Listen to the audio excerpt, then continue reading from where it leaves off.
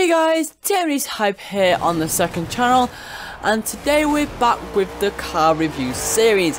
Now this will be continuing every Monday from here on out so you won't have a spam of them all day, every, of, every day uh, in a week. So it's just going to be one a week on the Monday. Now, today we are finishing off the last of the Hot Wheels cars with 2011 Hot Wheels Bone Shaker. Now this is a car I'm really not that interested in. And you can get some cool upgrades, but we'll go all through that once we go through the statistics of it. So, um, if you want to get this car, you can buy it from the Auto Show for 142,500 credits. Or you can get it for free because you have to have the expansion pass obviously to buy this car. You can get it for free with the first time purchase of this vehicle. You could also get it through the auction house, or if you if you have the expansion pass, or you could get it just by playing through the Hot Wheels expansion pass because this is uh, for the Hot Wheels expansion. Because I'm pretty sure you get it through just going through the different tiers and unlocking different things. You unlock it as a reward. So, how good is this car statistically? Well, it's in A class. It's about 798, so it's close to top of A.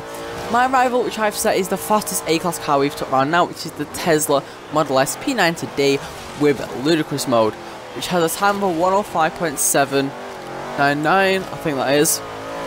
But anyway, basically meaning, is electric better than petrol or diesel, whichever one this uses, but I'm pretty sure it's petrol.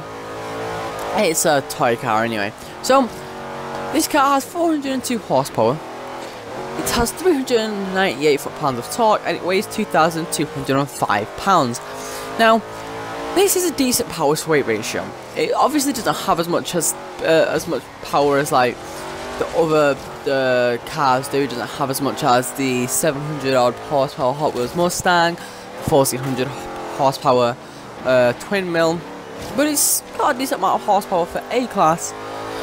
Um, and for the weight it's got, and you'll see why it's not got as much horsepower as a normal A-Class car would in just a moment. It has 205s on the front, which are tiny, 375s on the rear, which are huge, and it has race tyres as standard. Now this together is why this car is in A-Class and only has 402 horsepower, because it has phenomenal grip levels. Um, it is rear-wheel drive and it is front engine with a 5.7 litre V8. Now this isn't I'm not sure if it's naturally aspirated because this is a car. It's not supercharged. You can hear that. Um, and in Forza you can't put a supercharger on it. You can't upgrade the supercharger, so it's not supercharged. It's not twin turboed because you can't put a twin turbo on it or upgrade any twin turbo. Same with the single turbo. So I think it might be naturally aspirated, but I don't know because I've not been able to find anything on the internet about the engine of this car since it is a car that's made by Hot Wheels and it isn't actually real. Now, it goes from 0 to 60 in 4 seconds, 100, 0 to 109.0 seconds, 60 to 0 146 feet, 100 to 0 and 342 feet, and it has a top speed of 162 miles an hour. Now, acceleration wise, it's pretty decent. Braking wise, it is very, very good. And top speed wise, it is poo, basically. Well, this car can get accelerated pretty, pretty fast, but that means when you come to the second turn, so uh, second turn isn't straight, so the bit you just was on, you're pretty much topped out. And that's bad because you're not accelerating to a high speed like other A-class cars would. The Tesla's getting 160, 170. That's an electric car. That's, that's running on batteries. It's only got one gear. So, the gear ratios are incredibly, incredibly short. Now, the brakes on this car, like I said, are phenomenal. Was, I just couldn't fathom how good these brakes were. I was either braking too early, and then when I found, oh, I've got confidence in these brakes, I'll brake where I see my tyre marks. It was a bit too late because that's when the brakes are basically locked. Um, but yeah, this car's pr pretty decent. But is it a car I'm going to use?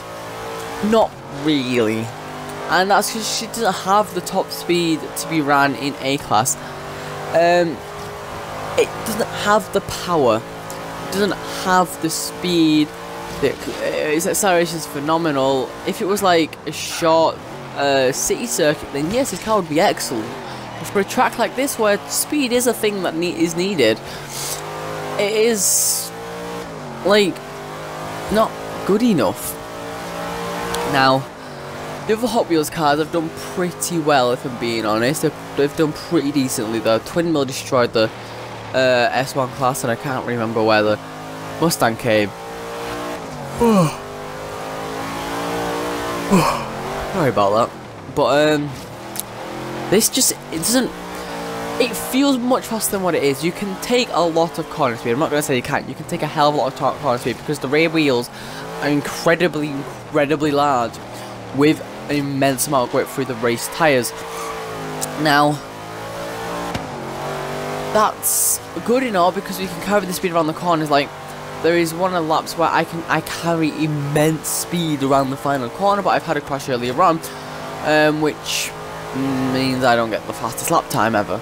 But, um, also, I'm finding is this car has really, really weird turning response. And what I mean by that is, you'll turn in, but if you don't straighten the wheels out yourself, and it straightens it out by itself, it will kind of keep turning in that, that direction. And it's kind of got a bit of a floaty um, sort of feel. So it's kind of like driving on ice on Blizzard Mountain, where you turn, but if you're if you're not straighten out, it's going to carry on turning that direction because you're on ice. That's how this car feels constantly. And that kind of puts me off this car even more because usually I just let go of the steering wheel and it just goes, um, I just let the force feedback just put it back into its own, uh, like, into the normal line it's at. But this car just feels too floaty and it only has a 402 horsepower and it's going to the 375s on the right with various tyres and it's obviously being a more when you get it but it's much easier to get this sliding than it is the twin mill. That's, that's crazy to think. But yeah, this car looks incredible. It is a really, really cool looking car. I'm not going to say it isn't because it is phenomenal. It's crazy that's how Hot Wheels car should be. Like, look at this spine thing next to me. Don't know what it's used for, it's just there. It doesn't have a roof, it doesn't have side fenders. It has side exit and exhaust as well as uh, the pipes coming out the bonnet. And it sounds cool. And the modification you get, you get a really cool front split, you get a really, really cool rear wing. You can slam it down to the ground and this thing looks when it's upgraded like that. It can basically become a hot wad, hot, hot wad, yeah, a hot wad, a hot rod and it does look really cool. And I, I much prefer it upgraded into S1 class, which I've got a car into S1 class now, and I really like it in S1 class because it gets some speed. It's just stock. It's just not best car ever, and that's what we're reviewing here. Whether or not the car is good stock, and just how much it needs upgrading. Now, where honestly did I think this car would come on the leaderboards? Well, I thought it would do pretty well because of the um, way the Hot Wheels cars are up to now. So, like I said, uh, the fastest car we have taken round in A class is the Hot Wheels Mustangs in S1, and that's that got a 101, and the Twin one got a 1 dead basically. But the fastest car we took on in A-Class was a Tesla Model S P90D. Now this got a 105.799. And this car, as you can see up to now, has only got a 108.135. Admittedly, we've had a um, dirty lap, which was faster. And you will see that we will get a fast lap very, very soon. And right now, the fastest lap I've been able to get with this Hot Wheels um, Bone Shaker is a 107.201. Now, this is incredibly, incredibly slow for where it is in class. Give you an example. Admittedly, the Jeep Trailcat got a 106.36, that's not an S1 class, but that's not made for this kind of stuff. The um, Chevrolet Corvette ZR1 got 106.168, that's a low PI. The Dodge Charger SRT Hellcat and Dodge Challenger, Dodge Challenger SRT Hellcat lower PIs. 106.567, 106.867. Porsche 959, 107.167. And that's in 48th place. This Hot Wheels bonus goes into 49th place with a 107.201, just beating the BMW i8 with a 107.301. Goes into 49th place. And if I have to recommend this car, I wouldn't. Stock, do not use it for a race. On Hot Wheels, it's too slow. On a normal race, it's too slow.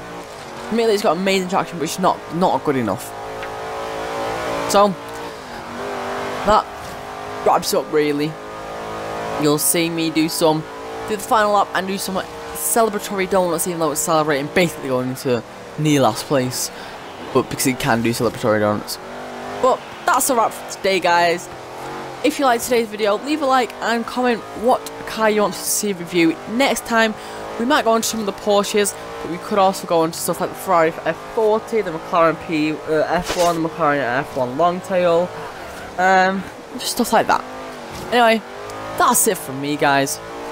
Tim Hyper, signing out.